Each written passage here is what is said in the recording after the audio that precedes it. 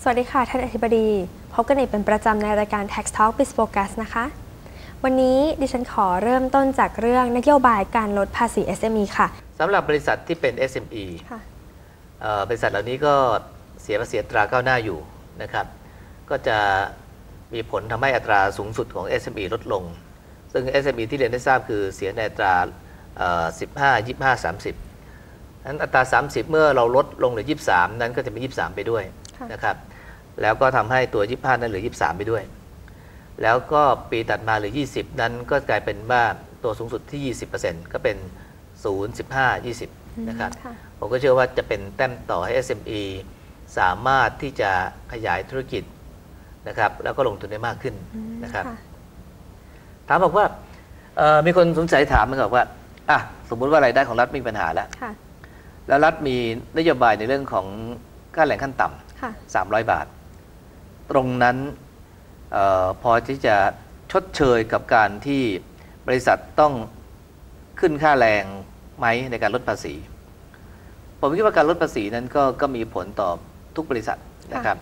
ไม่ว่าบริษัทนั้นจะเป็นบริษัทขนาดใหญ่ หรือบริษัทขนาดเล็กที่เรียกว่า SME เพราะ SME เองก็ต้องเสียภาษีตราก้าวหน้าเหมือนกันค่ะนะครับ แล้วก็การลดภาษีตัวนี้ก็จะเป็นลดภาษีในอัตราสูงของ SME ลงนะครับ ก็จะได้ประโยชน์จากตัวนี้เช่นเดียวกันและการที่อาจจะมีต้นทุนเพิ่มขึ้นบ้างในเรื่องของค่าแรงพนักงานระดับล่าง แต่ว่ามีกำไรเพิ่มขึ้นภาษีภาษีน้อยลงนะครับ ก็สามารถชดเชยกันได้ระดับหนึ่งนะครับอืมค่ะก็น่าที่จะคืนส่วนนี้ไปให้กับระดับล่างค่ะที่ถามบอกว่า เอ๊ะแล้วถ้าสมมุติว่า บริษัทนั้นขาดทุนอยู่ล่ะ ก็ไม่ได้ประโยชน์จากการลดภาษีใช่ไหม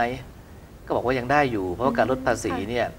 เอ่อมีต่อให้บริษัทนั้นขาดทุนนะครับเขาก็จะต้องมีผลสามารถเอาผลขาดทุนเนี่ยไปใช้เป็นรายจ่ายในปีต่อไปได้ 5 ปีอืมนะครับค่ะก็มีผลต่อภาษีในปีต่อๆไปเมื่อเขาเริ่มมีเงินได้ มีกำไรที่มากขึ้นนะในขณะนั้นเองครับค่ะสำหรับนโยบายใหม่ของรัฐบาลนะคะ ไม่ทราบว่ากรมสรรพากรต้องมีการเตรียมพร้อมรับมือยังไงบ้างคะเอ่อ ถ้าเป็นนโยบายที่ออกมานะครับค่ะตามที่ได้หาเสียงแล้วก็เกี่ยวข้องกับกรมสรรพากรนั้นก็จะมีเรื่องหลักเรื่องนี้เรื่องเดียวค่ะแต่ขณะเดียวกันทางกรมสรรพากรเองเนี่ยเรามีการเห็นว่าเอ่อกฎหมายภาษีอากรของไทยนั้นเนี่ยได้ไม่ได้มีการปรับเปลี่ยนให้ทันสมัย ให้เหมาะสมกับการเปลี่ยนแปลงของสังคมโลกเนี่ยมาตั้งแต่ปี 35ค่ะปีนี้ปี 54 ก็ 20 ปีบริบูรณ์นะครับจะจะขึ้นปี 55 อยู่แล้วเนี่ย ไม่ได้เปลี่ยนเลยนะครับค่ะในการที่โลกเปลี่ยนไปเยอะมากนะครับอย่างที่ได้ทราบว่าเรื่อง globalization เรื่องของการค้าระหว่างกันมากขึ้น เรื่องของการต้องแลกเปลี่ยนข้อมูลระหว่างกันมากขึ้นนะครับเอ่อเรื่องของการทำ transfer pricing การถ่ายโอนกำไรระหว่างชาติต่างๆ เรื่องของเออความทันสมัยของกฎหมายนะครับให้ทองรับกับธุรกรรมใหม่ ๆ ทางการเงิน เช่น swap cap future forward option swaption กฎหมายไปถึงหรือยังนะครับ เรื่องของทำ venture capital เครื่องมือธุรกรรมทางการเงินกฎหมายไปถึงหรือยังเรื่องการส่งเสริมให้มีการควบโอนกิจการเพื่อ efficiency productivity ทำไปถึงไหนหรือยังค่ะดังนั้นก็ถึงเวลาแล้วเหมือนกันที่เราจะต้องปรับตัวโครงสร้างภาษีทั้งระบบใหม่หมดค่ะนะครับ หลังจากที่ไม่เคยปรับเปลี่ยนมาเป็นเวลา 20 ปีเต็มอืมนะครับค่ะเอ่อคงต้องมีการทบทวนอีกหลายรายการ อย่างเช่นแม้กระทั่งว่า ในอดีตนั้นเนี่ยเราบอกว่าเงินได้ของภริยาค่ะเป็นเงินได้ของสามีค่ะและสามีมีหน้าที่ยื่นแบบและชำระภาษีนะครับถามว่าวันนี้เนี่ยมันต่างกับอดีตไหมในอดีตนั้นเป็นสังคมครอบครัว สังคมยุคแม่พลอยนะครับนั่งอ่าคัตมาดอยู่บ้านดูแลบ้านนะครับค่ะแต่สุภาพสตรีเดี๋ยวนี้นี่มาทำงานแล้วค่ะนะครับไม่ได้พับเพียบอยู่ที่บ้าน แล้วทำไมเงินได้ของภรรยาต้องเป็นของสามีอืมในการค่ะยื่นแบบเสียภาษี อาจจะต้องมีการแยกยื่นระหว่างสามีภรรยานะครับ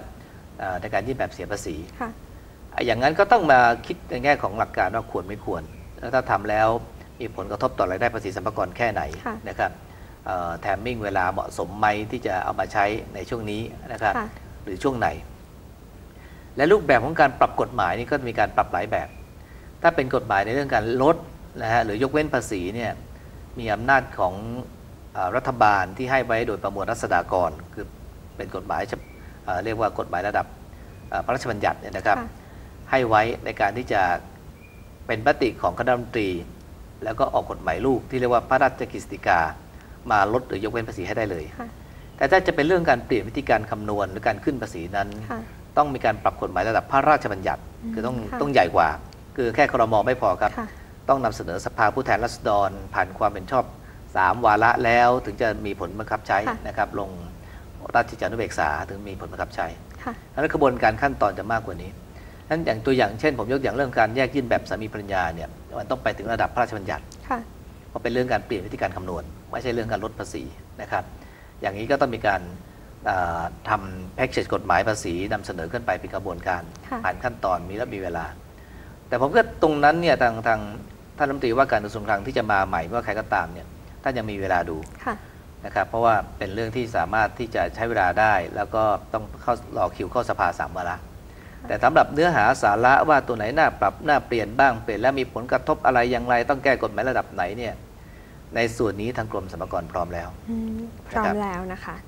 ค่ะถ้ายังไงนะคะ สุดท้ายนี้ค่ะอยากที่จะขอให้ท่านช่วยฝากอะไรไปถึงกับ SME หรือว่านิติบุคคลนะคะ กับเรื่องของการปรับลดภาษีนะคะผมคิดว่าก็เป็นเป็น เป็นสัญญาณที่ดีค่ะนะครับในการที่เอ่อ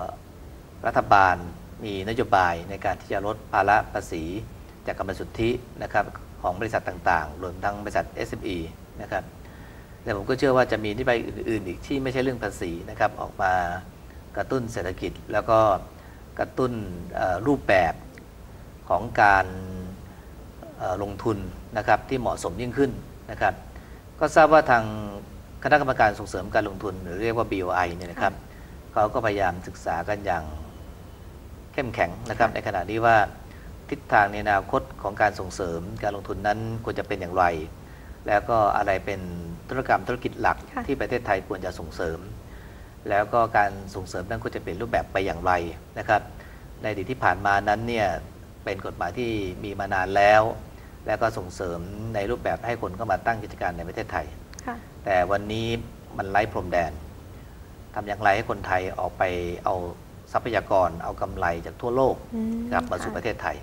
และรูปแบบของการพัฒนาเปลี่ยนแปลงอ่าการส่งเสริมการลงทุนนั้นก็คงต้องมีนะครับและทราบว่าท่านเลขาธิการคณะกรรมการส่งเสริมการลงทุนนั้นทำทำงานอย่างหนัก เพื่อที่จะหาคำตอบตรงนี้ว่าเอ่อทิศทางแนวโน้มของการส่งเสริมการลงทุนในประเทศไทยนั้นจะเป็นอย่างไรต่อไป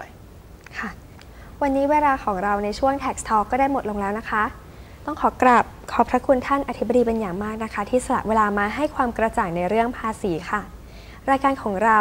มีของที่ระลึกนะคะ ที่จะมอบให้ท่านนะคะ เป็นเน็กไทที่คนไทยทำค่ะ จากแวนสั้นสิงห์ทองนะคะ เป็นเน็กไทผ้าไหมแท้ร้อยเปอร์เซ็นต์ขอมอบให้ท่านค่ะขอบคุณครับค่ะ ก็ต้องบอกว่านี่เป็นอีกตัวอย่างหนึ่งของสินค้าไทย ซึ่งสามารถที่จะสร้างแบรนด์ แล้วก็ออกไปสู่ตลาดโลกได้ค่ะรัฐบาลคงมุ่งหวังที่จะให้คนไทยนั้นพยายามสร้างแบรนด์ แล้วก็เรื่องของดีไซนิ่งแพคเกจจิ้งนะครับ แล้วก็มีนวัตกรรมใหม่ ๆ มีรูปแบบใหม่ๆเอาไปสู่ตลาดโลก เพราะจะทำให้เราสามารถที่จะปรับราคาสร้างกำไรให้กับทางธุรกิจและนำเงินเข้าประเทศได้มากขึ้นค่ะตอนนี้โลกเปิดแล้วขายสินค้าส่วนมากก็ทางอินเทอร์เน็ตนั้นถ้าหากว่าไม่มีแบรนด์ไม่มี history ไม่มีเอ่อนวัตกรรมต่างๆนะครับไม่มีดีไซน์ที่ดี ๆ นั้น คงจะไปสู่ตลาดโลกได้ยากค่ะนะครับนี่เป็นตัวอย่างที่อยากเห็นคนไทยนะครับค่ะพยายามปรับดันในสิ่งเหล่านี้ให้มากขึ้นอืมค่ะ ต้องขอกราบขอบพระคุณขอบคุณท่านครับอธิบดีอีกครั้งหนึ่งนะคะ ที่สละเวลามาให้รายการของเราได้สัมภาษณ์ค่ะ ท่านผู้ชมคะ รายการของเรายังไม่จบแต่เพียงเท่านี้นะคะ เดี๋ยวเราไปพักชมโฆษณากันสักครู่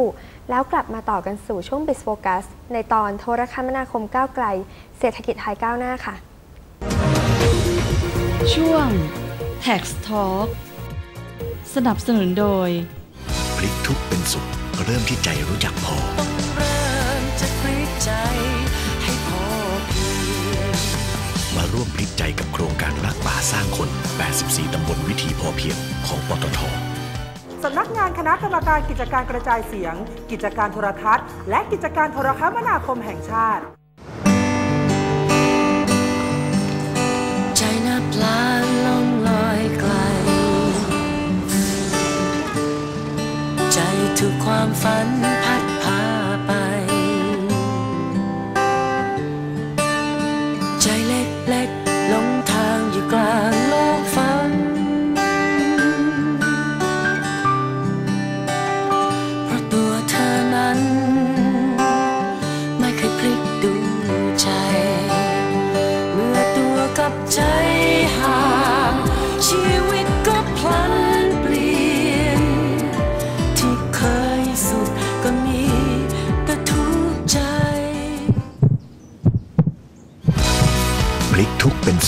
ริ่มที่ใจรู้จักพอ เหมือนที่โครงการรักป่าสร้างคน 84 ตำบลวิถีพอเพียง ได้พลิกใจคนสำเร็จมาแล้ว มาร่วมพลิกใจกับปตทผู้ชมทราบหรือไม่ครับว่าคุณสามารถเปลี่ยนเครือข่ายโทรศัพท์มือถือ จากเดิมที่คุณใช้อยู่ ไปสู่เครือข่ายโทรศัพท์มือถือ ผู้ให้บริการรายใหม่ได้ครับ โดยที่คุณยังสามารถใช้เบอร์โทรศัพท์เบอร์เดิมได้อยู่ทำได้ทั้งแบบเติมเงิน และรายเดือนด้วยวิธีง่ายๆครับ เพียงแค่คุณแจ้งความประสงค์ขอโอนย้ายณจุดบริการของผู้ให้บริการรายใหม่ที่คุณต้องการ โดยเสียค่าธรรมเนียมไม่เกิน 99 บาทต่อ 1 หมายเลข ในการโอนย้ายแต่ละครั้งครับ ใช้เวลาในการดำเนินการไม่เกิน 3 วันครับ ในช่วงที่รอการโอนย้าย คุณก็ยังสามารถใช้บริการของผู้ให้บริการรายเดิมได้ตามปกติครับ จนกว่าจะได้รับ SMS ยืนยันจากผู้ให้บริการรายใหม่ ว่าได้ทำการโอนย้ายให้คุณเรียบร้อยแล้ว เพียงแค่นี้คุณก็นำซิมการ์ดจากผู้ให้บริการรายใหม่ มาใช้ในหมายเลขเดิมได้เลยนะครับ และที่สำคัญคุณยังสามารถเปลี่ยนรูปแบบการใช้งานโทรศัพท์มือถือ จากเดิมที่เคยใช้แบบเติมเงิน ก็สามารถเปลี่ยนมาใช้แบบรายเดือนได้ หรือถ้าใช้แบบรายเดือนอยู่ อยากจะเปลี่ยนมาใช้แบบเติมเงิน ก็สามารถทำได้นะครับค่ายใหม่เบอร์เดิม บริการดีๆจากกสทช สำนักงานคณะกรรมการกิจการกระจายเสียง กิจการโทรทัศน์ และกิจการโทรคมนาคมแห่งชาติ ช่วง b e a s Focus สนับสนุนโดย พลิกทุกข์เป็นสุข เริ่มที่ใจรู้จักพอต้องเริ่มจากพลิกใจให้พอเพียงมาร่วมพลิกใจกับโครงการรักป่า